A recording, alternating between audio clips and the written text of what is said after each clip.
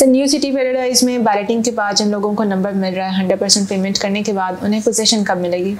अभी तक सोसाइटी की तरफ़ से कोई पोजेशन की अनाउंसमेंट नहीं आई। सोसाइटी ने सिर्फ़ बैलेटिंग की डेट अनाउंस की है। आई थिंक 18 सितंबर का टाइम रखा है कि जिन मेंबर्स अपनी ड्यूज इंस्टॉलमेंट जो है वो क्लियर कर लेते हैं। माँ सिवाय उनके पोजेशन चार्जेस की और बैलेटिंग की अमाउंट की तो सोसाइटी की तरफ़ से उनका नंबर एलोकेट हो जाएगा। अब कुछ क्लाइंट्स को जो फाइल्स हैं वो A D C all dues clear plots किए हैं। मेरा ख्याल है सोसाइटी ने उन मेंबर्स के लिए स्पेसिफिक पॉलिसी अनाउंस नहीं की, लेकिन आने वाले दिनों में जैसे सोसाइटी ये वाली बैलेटिंग की पॉलिसी अनाउंस करेगी तो बाकी उन मेंबर्स की फ़ाइल के लिए जिन्होंने ऑल ड्यूज क्लियर यानी मुकम्मल पेड प्लॉट खरीदे थे, यानी कि उनकी कोई ड्यू इंस्टॉलमेंट नहीं है, ना कॉस्ट ऑफ़ लैंड में कुछ बाकी है, ना डेवलपमेंट चार्जेस में कुछ बाकी है, उन मेंबर्स के लिए स्पेसिफिक अनाउंसमेंट आएगी कि उनके लिए कौन सा ब्लॉक रिज़र्व होगा या कौन सा सेक्टर रिज़र्व होगा, जिनमें उनको प्लॉट नंबर इशू किए जाएँगे।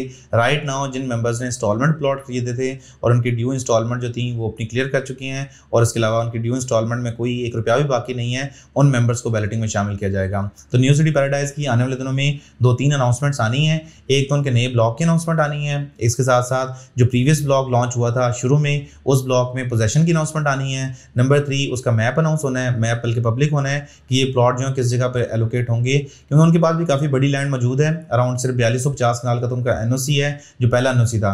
अभी एन की एक्सटेंशन भी सुनने में आ रहा है कि वो जमा करवा रहे हैं अराउंड बारह हज़ार कनाल की। तो उनका एन भी तकरीबन सोलह हज़ार कनाल का बन जाएगा। तो आने वाले दिनों में न्यू सिटी पैराडाइज की पॉलिसीज़ खुल के सामने आ जाएँगी। अभी तो उनका थिंक छः से आठ माह हुए हैं प्रोजेक्ट को लॉन्च हुए तो शुरू में पॉलिसीज़ इतनी क्लियर नहीं होती with the passage of time policies जो हैं, वो क्लियर हो जाती हैं।